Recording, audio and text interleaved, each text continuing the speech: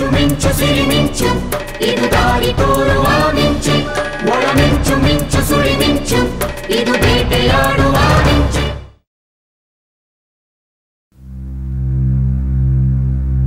ಏನೇಯ ನೀನು? ಮಧ್ಯ ಮಾತಾಡ್ಬೇಡ ಅಂತ ಎಷ್ಟು ಸಲ ಹೇಳಿದ್ದೀನಿ. ನನ್ನ ಮಾತು ಕೇಳೋದೇ ಇಲ್ವಲ್ಲ ನೀನು? ಏನೋ ನೀನೇ ಬುದ್ಧಿವಂತನ ಥರ ಮಾತಾಡಕ್ಕೆ ಹೋಗಿ ಎಡ್ವರ್ಟ್ ಮಾಡ್ಕೊಂಡಿದ್ಯಾ ಈಗ ಏನಾಯ್ತು ಅಂತ ರೆಕ್ತಿದ್ದೀರಾ ಇನ್ನೇನಾಗ್ಬೇಕು? ಐದು ಲಕ್ಷ ಕೊಡಿ ದೇವಸ್ ಪೇಪರ್ಗೆ ಸೈನ್ ಹಾಕ್ತೀನಿ ಅಂತ ಹೇಳ್ದಂತೆ. ಇನ್ನೇನ್ ಮಾಡ್ಲಿ? ಅವಳಂತೂ ನನ್ನ ಜೊತೆಗಿರಲ್ಲ. ದುಡ್ಡಾದ್ರೂ ಸಿಕ್ಕರೆ ನನಗೊಂದಿಷ್ಟು ಹೆಲ್ಪ್ ಆಗುತ್ತೆ ಅಂತ ಕೇಳಿದೆ. ಬುದ್ಧಿ ಇದೆಯಾ ನಿನಗೆ? ಅಲ್ಲಯ್ಯ ಅವರು ಮಿಡಿಲ್ ಕ್ಲಾಸ್ ಫ್ಯಾಮಿಲಿ ಜನ. ಐದು ಲಕ್ಷ ಕೊಡು ಅಂದರೆ ಎಲ್ಲಿಂದ ತಂದು ಕೊಡ್ತಾರೆ? ಕೇಳಕ್ಕೆ ಒಂದು ಲಿಮಿಟ್ ಬೇಡ. ನಾ ಅಲ್ಲೇ ಇದ್ದಾಗ ವಿಷಯ ಗೊತ್ತಾಗಿದ್ರೆ ಒಂದೆರಡು ಲಕ್ಷಕ್ಕೆ ಸೆಟ್ಲ್ ಮಾಡಿಸಿದ್ದೆ. ಏನು? ಒಂದೆರಡು ಲಕ್ಷನಾ? ಹಾಂ. ಅಷ್ಟು ದುಡ್ಡು ತಗೊಂಡು ನಾನೇನ್ ಮಾಡ್ಲಿ? ಏನಾದರೂ ಮಾಡ್ಕೊ. ಆದರೆ ಪಾಸಿಬಿಲಿಟೀಸ್ನ ನಾವು ನೋಡಬೇಕು. ಒಂದೆರಡು ಲಕ್ಷ ಕೇಳಿದರೆ ಹೇಗೋ ಅಡ್ಜಸ್ಟ್ ಮಾಡಿರೋರು. ನನಗೂ ಒಂದು ಇಪ್ಪತ್ತ್ ಮೂವತ್ತು ಸಾವಿರ ಫೀಸ್ ಸಿಕ್ಕಿರೋದು. ಇದನ್ನು ಅಡ್ಜಸ್ಟ್ ಮಾಡ್ತಾರೆ ಬಿಡಿ. ಅವಳು ಮದುವೆ ಆಗ್ತಾ ಇದ್ದಾನಲ್ಲ ಜಗದೀಶ್ ದಾಸ.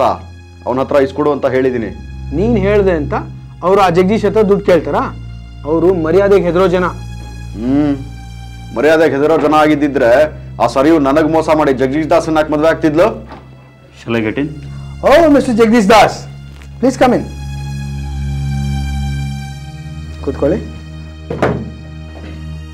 ಥ್ಯಾಂಕ್ ಯು ಸರ್ ಹೇಳಿ ಏನು ಬಂದಿದ್ದು? ಸರ್ ವಿಷಯ ನಿಮಗೂ ಗೊತ್ತಿದೆ ಅನ್ಕೋತೀನಿ. ನಾನು ಈ ಗಜೇಂದ್ರ ಅವ್ರ ಮಿಸಸ್ಸು ಸರಯು ಇಬ್ಬರು ಮದುವೆ ಆಗ್ತಿದ್ದೀವಿ ಆದರೆ ಈ ಗಜೇಂದ್ರ ಡಿವೋರ್ಸ್ಗೆ ಒಪ್ತಾ ಇಲ್ಲ.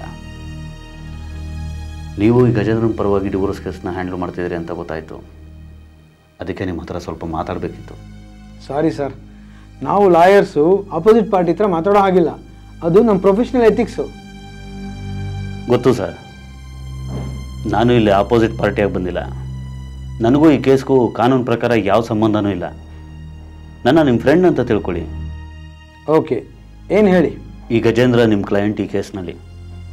ಈತ ನೀವು ಹೇಳ್ದಾಗ ಕೇಳ್ತಾನೆ. ಅದಕ್ಕೆ ನೀವು ಇವನಿಗೆ ಹೇಳಿ ಈ ಡಿವೋರ್ಸ್ ಪೇಪರ್ಗೆ ಸೈನ್ ಮಾಡಿಸಿದ್ರೆ ತುಂಬ ಹೆಲ್ಪ್ ಆಗುತ್ತೆ. ಹ್ಞೂ ನಾನು ಯಾಕೆ ಡೈವರ್ಸ್ ಕೊಡಬೇಕು? ಅವಳು ಡೈವರ್ಸ್ ತಗೊಂಡು ರಾಣಿ ಥರ ಇರ್ತಾಳೆ ನಾನು ಬೀದಿ ವಿಕಾರಿ ಥರ ನಿಮ್ಮಂಥವ್ರು ಸುತ್ತ ಸುತ್ತ ಇರಬೇಕಾ?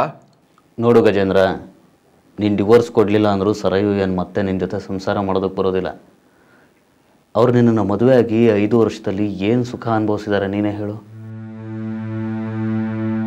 ನಿನ್ನಿಂದ ಇಷ್ಟೆಲ್ಲ ತೊಂದರೆ ಅನುಭವಿಸಿದ್ಮೇಲೂ ಅವ್ರು ನಿನ್ನ ಹೆಂಡತಿ ಆಗಿರೋದಕ್ಕೆ ಸಾಧ್ಯನಾ? ಅದಕ್ಕೆ ಅವಳು ನೀವು ಮದುವೆ ಆಗ್ತಿದ್ದೀರಾ? ಗಂಡನ ಜೊತೆ ಇರೋಕ್ಕಾಗಲ್ಲ ಅನ್ನೋರ್ನೆಲ್ಲ ನೀವು ಮದುವೆ ಆಗ್ತೀರಾ? ಗಜೇಂದ್ರ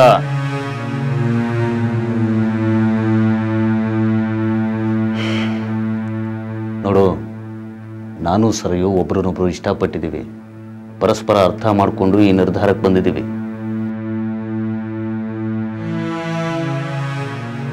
ಇಷ್ಟಕ್ಕೂ ನಾವು ಮದುವೆ ಆಗೋದ್ರಿಂದ ನಿನಗಾಗೋ ನಷ್ಟ ಏನು? ನಷ್ಟ ಏನೂ ಇಲ್ವಾ? ನನಗೀಗ ನಲವತ್ತೊಂದು ವರ್ಷ. ಕೈಯಲ್ಲಿ ಕಾಸಿಲ್ಲ, ಜೀವನಕ್ಕೆ ಒಂದು ಕೆಲಸನೂ ಇಲ್ಲ. ನಾನೀಗ ಡೈವರ್ಸ್ ಕೊಟ್ಬಿಟ್ರೆ ನಾಳೆ ನನ್ನ ಗತಿ ಏನು?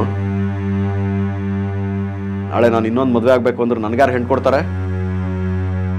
ಅದಕ್ಕೆ ನನಗೆ ಸಿಗದೆ ಇರೋ ಸುಖ ನೆಮ್ಮದಿ ಆ ಸರಿಯಾಗೂ ಸಿಗಬಾರ್ದು. ನೀನು ಡಿವೋರ್ಸ್ ಕೊಡಲಿಲ್ಲ ಅಂದರೂ ಸರಿಯಾಗಿ ಡಿವೋರ್ಸ್ ಸಿಗುತ್ತೆ. ಸಿಗುತ್ತೆ. ಆದರೆ ತಕ್ಷಣಕ್ಕೆ ಸಿಗಲ್ಲ. ಕೇಳಿಬೇಕಾರೆ ನಮ್ಮ ಲಾಯರ್ ಸಾಹೇಬ್ರನ್ನ. ಹೌದು ಮಿಸ್ಟರ್ ಜಗದೀಶ್ ಡೈವರ್ಸು ಅಷ್ಟು ಬೇಗ ಸಿಗಲ್ಲ. ಅಲ್ಲದೆ ಡೈವರ್ಸ್ ತೊಗೊಳ್ದೇನೆ ಮತ್ತೊಂದು ಮದುವೆ ಆದರೆ I P C section four ninety four ಪ್ರಕಾರ ಕ್ರಿಮಿನಲ್ ಅಫೆನ್ಸ್ ಆಗುತ್ತೆ. ಗೊತ್ತು ಸರ್ ನಮ್ಮ ಲಾಯರ್ ಹೇಳಿದ್ದಾರೆ. ನಾವು ಡಿವೋರ್ಸ್ ಆಗದೆ ಮದುವೆ ಮಾಡ್ಕೊಳ್ಳಲ್ಲ ಅದಕ್ಕೆ ನಾನು ಇಲ್ಲಿಗೆ ಬಂದಿರೋದು. ಕಾಂಪ್ರಮೈಸ್ ಮಾಡ್ಕೊಳಕ್ಕೆ. ಏನು ಗಜೇಂದ್ರ? ನಾನು ಹೇಳ್ದಾಗ ಕೇಳಿದ್ರೆ ನಿನಗೂ ಹೆಲ್ಪ್ ಆಗುತ್ತೆ. ಇಲ್ಲಾಂದರೆ ನಾವು ಡಿವೋರ್ಸ್ ತೊಗೊಂಡ್ಮೇಲಾದರೂ ಮದುವೆ ಆಗೇ ಆಗ್ತೀವಿ. ಆಗ ನಿನಗೆ ನಮ್ಮಿಂದ ಯಾವ ಸಹಾಯನೂ ಸಿಗೋಲ್ಲ. ಸರಿ. ಅದಕ್ಕೇನು ಮಾಡ್ಬೇಕೀಗ? ಸರಿ ಅವ್ರ ಹತ್ರ ಹೋಗಿ ಕಾಂಪನ್ಸೇಷನ್ ಅಂತ ದುಡ್ಡು ಕೊಟ್ಟರೆ ಡಿವೋರ್ಸ್ ಪೇಪರ್ಗೆ ಸೈನ್ ಮಾಡ್ತೀನಿ ಅಂತ ಹೇಳಿದಂತೆ. ಹೌದು. ಎಷ್ಟು ಬೇಕು? ಒಂದೆರಡು ಲಕ್ಷ ಕೊಟ್ಬಿಡಿ. ನನ್ನ ಪಾಡಕ್ಕೆ ನಾನು ಇದ್ಬಿಡ್ತೀನಿ. ಎರಡಲ್ಲ ಐದು ಲಕ್ಷ ಕೊಡ್ತೀನಿ.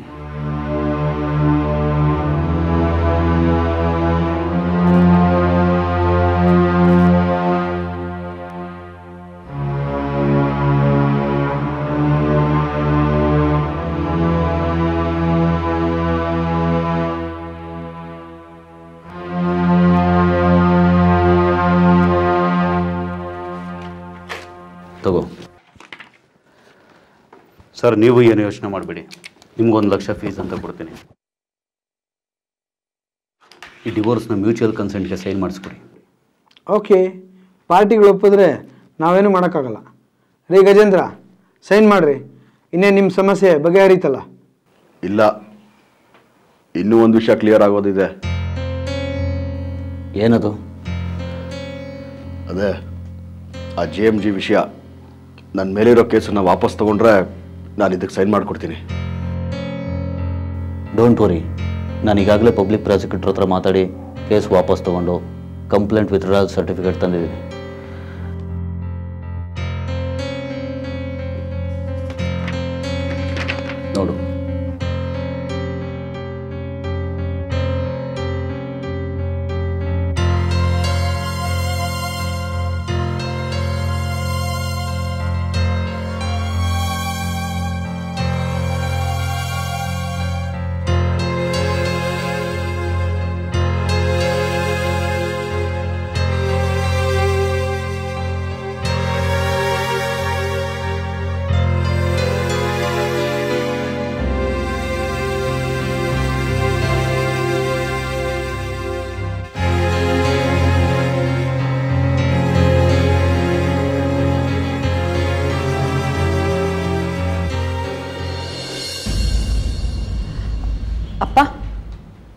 ಏನಮ್ಮ? ಆ ಕೊನೆ ಪೇಜ್ ಕೊಡ್ತೀರಾ? ಕೊನೆ ಪೇಜ ಯಾಕೆ ಉಲ್ಟಾ ಪೇಪರ್ ಓದ್ತೀಯೇನೆ? ಇಲ್ಲ. ಎಲ್ಲಾದರೂ ಕೆಲಸ ಇದ್ರೆ ನೋಡೋಣ ಅಂತ. ದಾಸ್ ಅಂಡ್ ದಾಸಕ್ಕೆ ಹೋಗ್ಬಾರ್ದು ಅಂತ ತೀರ್ಮಾನ ಮಾಡ್ಬಿಟ್ಟಿದ್ಯಾ? ಹೇಗೆ ಹೋಗಕ್ಕೆ ಸಾಧ್ಯ ಇಷ್ಟೆಲ್ಲ ಆದಮೇಲೆ? ನನ್ನ ಕೆಲಸಕ್ಕೆ ರಿಸೈನು ಮಾಡಾಗಿದೆ. ಅದು ಅಲ್ಲದೆ ಜಗದೀಶ್ ಅವ್ರಿಗೆ ಮುಖ ನೋಡೋ ಧೈರ್ಯನೂ ನನಗಿಲ್ಲ. ಕನಸು ಕಾಣೋ ಅರ್ಹತೆ ನನಗಿಲ್ಲ ಅಂತ ನನ್ನ ಜೀವನ ಪ್ರೂವ್ ಮಾಡಾಗಿದೆ. ಆ ಗಜೇಂದ್ರ ಡಿವೋರ್ಸ್ ಕೊಡ್ತಾನೆ ಅಂತ ಅನ್ಕೊಂಡಿದ್ವಿ. ಈಗ ಕೊಡಲ್ಲ ಅಂತ ಕೂತಿದ್ದಾನೆ. ಒಂದೊಂದು ಸಲ ಈ ಕರ್ಮ ಫಲ ಅಂತಾರಲ್ಲ ಅದನ್ನು ನಂಬೇಕೇನೋ ಅನಿಸುತ್ತೆ. ಈ ಜನ್ಮದಲ್ಲಿ ನಾನು ಯಾವುದೂ ತಪ್ಪು ಮಾಡಿಲ್ಲ. ಪಾಪ ಮಾಡಿಲ್ಲ. ಯಾರಿಗೂ ಮೋಸ ಮಾಡಿಲ್ಲ. ಅನ್ಯಾಯ ಮಾಡಿಲ್ಲ. ಆದರೂ ಈ ಬದುಕು ನನಗೆ ಪದೇ ಪದೇ ಶಿಕ್ಷೆ ಕೊಡೋದನ್ನು ನೋಡಿದ್ರೆ ಇದು ಪೂರ್ವ ಜನ್ಮದ ಕರ್ಮಫಲಾನೇ ಇರಬೇಕು. ಅಲ್ವಾಪ್ಪ? ನಮ್ಮ ಅಸಹಾಯಕತೆಗೆ ನಾವು ಹುಡುಕೋ ಕಾರಣಗಳು ಇವೆಲ್ಲ. ಹಣೆ ಬರಹ, ವಿಧಿಯಾಟ ಕರ್ಮಫಲ ಅಂತ. ಮುಖ್ಯ ನಮ್ಮ ಹತ್ರ ಐದು ಲಕ್ಷ ಇಲ್ಲ. ಇದ್ದಿದ್ರೆ ಗಜೇಂದ್ರನ್ ಕೊಟ್ಟು ಡಿವೋರ್ಸ್ ತಗೋಬೋದಾಗಿತ್ತು.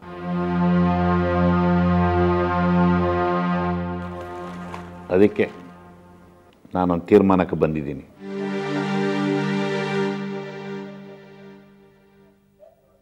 ಈ ಮನೆನ ಮಾರ್ಬಿಡೋಣ ಅಂತಿದ್ದೀನಿ. ಅವತ್ತು ಗಜೇಂದ್ರ ಬಂದು ಕೇಳಿದಾಗ ಈ ಮನೇನ ಮಾರಲ್ಲ ಅಂತ ಹೇಳಿದ್ದೆ.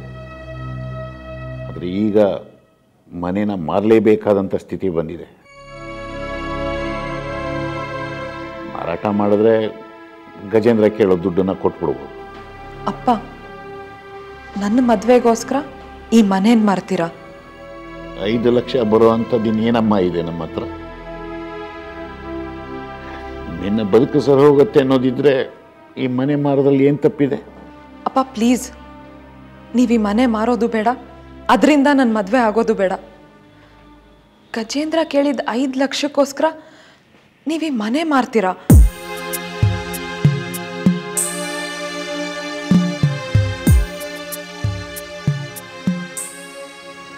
ಈ ಮನೆ ಜೊತೆಲಿ ನಮಗೆಲ್ಲ ಒಂದು ಭಾವನಾತ್ಮಕ ಸಂಬಂಧ ಇದೆ. ಮನೆ, ಈ ಗೋಡೆಗಳು ಎಲ್ಲ ನಿರ್ಜೀವ ಅಂತ ಅನ್ನಿಸ್ಬಹುದು. ಆದರೆ ಇಷ್ಟು ವರ್ಷಗಳಿಂದ ನಮ್ಮ ಸಂಸಾರದ ಕಷ್ಟ ಸುಖಗಳಿಗೆಲ್ಲ ಸಾಕ್ಷಿಯಾಗಿ ಈ ಮನೆ ನಮ್ಮ ಜೊತೆಲಿದೆ. ನನ್ನ ಮದುವೆ ಆಗಬೇಕು ಅನ್ನೋ ಒಂದೇ ಕಾರಣಕ್ಕೆ ಈ ಮನೆ ಮಾರೋದನ್ನ ನಾನು ಖಂಡಿತ ಒಪ್ಪಲ್ಲ. ಏನೇ ನೀನು. ಗಜೇಂದ್ರ ಐದು ಲಕ್ಷ ರೂಪಾಯಿ ಕೇಳಿದ್ದಾನೆ ಅಂತ ಜಗದೀಶ್ ಅವ್ರಿಗೆ ಹೇಳು ಅಂದರೆ ಬೇಡ ಅಂತ್ಯ. ಅಪ್ಪ ಮನೆ ಮಾಡ್ತೀನಿ ಅಂದ್ರೆ ಅದಕ್ಕೂ ಬೇಡ ಅಂತ್ಯ. ಹೋಗ್ಲಿ ಇದೆಲ್ಲ ಯಾವುದು ಬೇಡ. ನಾನು ಬ್ಯಾಂಕಲ್ಲಿ ಸಾಲ ತಗೋತೀನಿ. ನನ್ನ ಸ್ಯಾಲ್ರಿ ಮೇಲೆ ಪರ್ಸನಲ್ ಲೋನ್ ಕೊಡ್ತಾರೆ. ಇದನ್ನೇ ನೆನ್ನೆ ರಾತ್ರಿಯಿಂದ ಹೇಳ್ತಾ ಇದ್ದೀನಿ. ನಾನು ನೆನ್ನೆ ರಾತ್ರಿಯಿಂದ ಹೇಳ್ತಾ ಇದ್ದೀನಿ. ನೀನು ಸಾಲ ಮಾಡೋದು ಬೇಡ. ನಿನ್ನ ಕೈಲಿ ಸಾಲ ಮಾಡಿಸಿ ಅದನ್ನ ಗಜೇಂದ್ರನ್ ಕೊಟ್ಟು ಜಗದೀಶ್ ಅವ್ರನ್ನ ಮದುವೆ ಆಗೋ ಆಸೆ ನನಗಿಲ್ಲ. ಸರಿಯೋ? ದಯವಿಟ್ಟು ನನ್ನ ಕ್ಷಮಿಸ್ಬಿಡಮ್ಮ. ಯಾಕಪ್ಪ?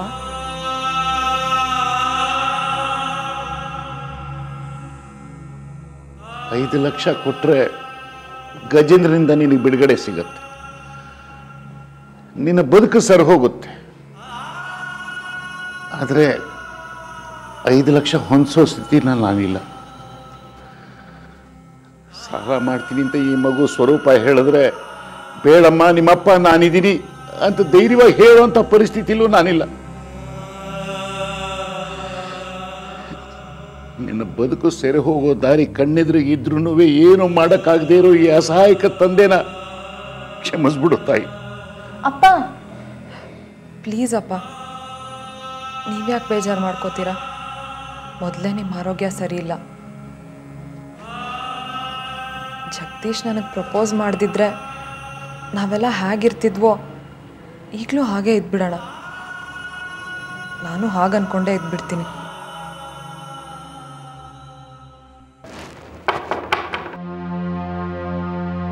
ಒಳಗೆ ಬರ್ಬೋದಾ? ಬನ್ನಿ. ನಮಸ್ಕಾರ ಸಾರಂಗ್ ಅವರೇ. ನಮಸ್ಕಾರ. ಕೂತ್ಕೊಳ್ಳಿ.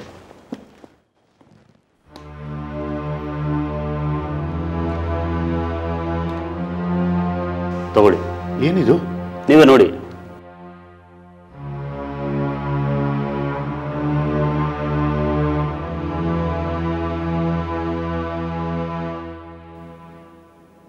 ಡಿವೋರ್ಸ್ ಪೇಪರ್ಸು ಗಜೇಂದ್ರ ಒಪ್ಕೊಂಡು ಸೈನ್ ಮಾಡಿಯಾನೆ? ಹೌದಾ?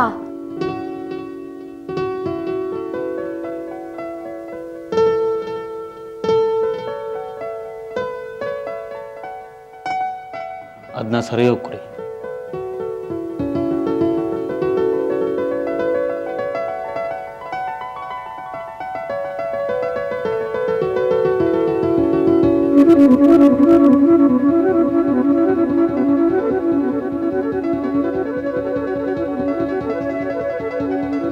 ಯಾಕ್ ಸರ್ ಸಾರಂಗಪಾಣಿ ಅವರೇ? ಆಗ ಆಶ್ಚರ್ಯದಿಂದ ನೋಡ್ತಿದ್ದೀರಾ? ಅಲ್ಲ ಗಜೇಂದ್ರ ಇಷ್ಟು ಬೇಗ ಡಿವೋರ್ಸ್ ಕೊಡಕ್ಕೆ ಒಪ್ಕೋತಾನೆ ಅಂತ ಅಂದ್ಕೊಂಡಿರಲಿಲ್ಲ ಅಂಥದ್ರಲ್ಲಿ ಇಷ್ಟು ಸುಲಭವಾಗಿ ಗಜೇಂದ್ರನ ಹತ್ರ ಹೋಗಿ ಇರೋ ವಿಷಯ ಎಲ್ಲ ಹೇಳಿದೆ. ನಾನು ಸರಿಯು ಇಷ್ಟಪಟ್ಟಿದ್ದೀವಿ ನೀನು ಡಿವೋರ್ಸ್ ಕೊಟ್ಟರೆ ನಾವಿಬ್ಬರು ಮದುವೆ ಆಗ್ತೀವಿ ಅಂತ ಹೇಳಿದೆ. ನಾಲ್ಕು ಒಳ್ಳೆ ಮಾತಾಡಿದೆ. ಒಳ್ಳೆ ರೀತಿಯಿಂದ ಕೇಳಿಕೊಂಡೆ. ಒಪ್ಕೊಂಡೆ. ನಿಜ ಹೇಳಬೇಕು ಅಂದರೆ ಗಜೇಂದ್ರನಿಂದ ನನ್ನ ಮಗಳಿಗೆ ಡಿವೋರ್ಸ್ ಕೊಡಿಸ್ಬೇಕಾಗಿದ್ದದ್ದು ನನ್ನ ಕರ್ತವ್ಯ. ನಾನು ಅವನಿಗೆ ಹೇಳಿದೆ ಆದರೆ ಅವನು ನನ್ನ ಮಾತು ಒಪ್ಕೊಳ್ಳಿಲ್ಲ. ಯಾಕೆ ಬೇಜಾರು ಮಾಡ್ಕೋತೀರಾ ಸಾರಂಗಪಾಣಿ ಅವರೇ ಯಾರು ಮಾಡಿದ್ರೇನು? ಸದ್ಯ ಸಮಸ್ಯೆ ಬಗ್ಗೆ ಹರಿತಲ್ಲ.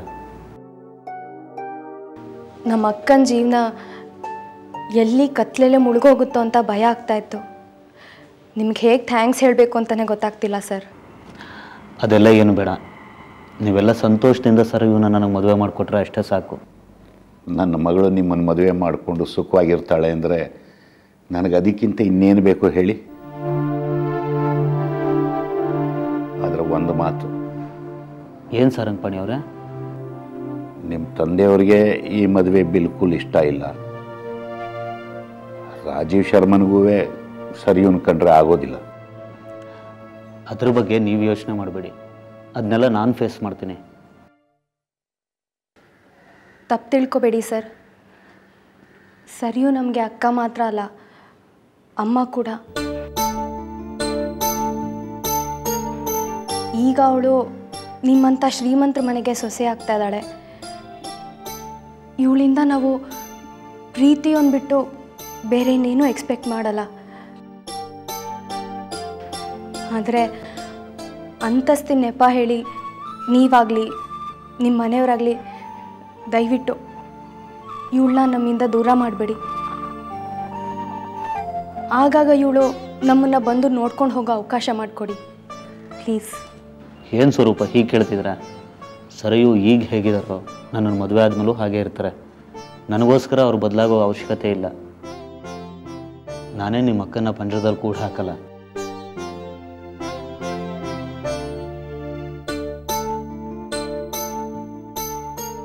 ಸಾರಂಗಪಾಣಿಯವರೇ ನಿಮ್ಮ ಮಗಳನ್ನ ಪ್ರೀತಿಯಿಂದ ನೋಡ್ಕೊಳ್ಳೋ ಜವಾಬ್ದಾರಿ ನಂದು. ಬರ್ತೀನಿ. ಬರ್ತೀನಿ. ಸರಿ ಜಗದೀಶ್ ಅವರೇ ಒಂದು ನಿಮಿಷ. ಯಾಕೆ ಸರಿಯೋ ಇನ್ನೇನಾದರೂ ಕೇಳೋದಿತ್ತಾ? ಕೇಳಿ. ಗಜೇಂದ್ರ ಅಷ್ಟು ಸುಲಭವಾಗಿ ಡಿವೋರ್ಸ್ ಕೊಡೋಕೆ ಹೇಗೆ ಒಪ್ಕೊಂಡ್ರು? ಹೇಳಿದ್ನಲ್ಲ ಒಳ್ಳೆ ಮಾತಲ್ಲಿ ಕೇಳದೆ ಕೊಟ್ಟ. ಅಷ್ಟೇ. ಸುಳ್ಳು.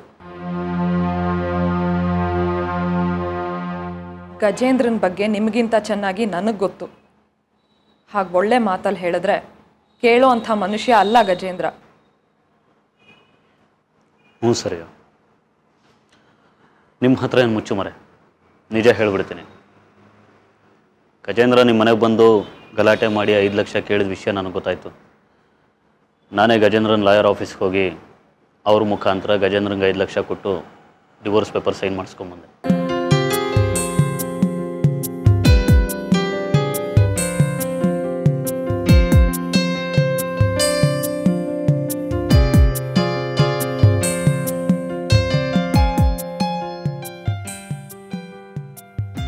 ಯಾಕೆ ಸರ್ ಇವು ಏನು ಮಾತಾಡ್ತಿಲ್ಲ? ನೀವ್ಯಾಕೆ ಗಜೇಂದ್ರಂಗೆ ಐದು ಲಕ್ಷ ಕೊಡೋಕೆ ಹೋದ್ರಿ? ನಿಮಗೋಸ್ಕರ. ನಿಮ್ಮ ಮೇಲಿನ ಪ್ರೀತಿಗೋಸ್ಕರ. ನಿಮಗಿಂತ ಐದು ಲಕ್ಷ ದೊಡ್ಡದಲ್ಲ ನನಗೆ.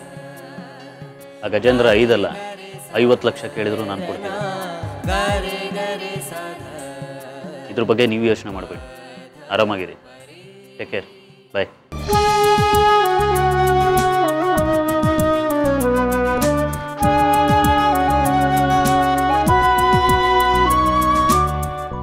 ಸೋಲಿನಲ್ಲು ಎಲ್ಲ ಮೀರಿ ಮಿಂಚಿ ನಿಂತೆಯ ಬೆಳಕಿನಲ್ಲೂ ದೂರ ನಿಂತು ನೆರಳ ಕಂಡೆಯ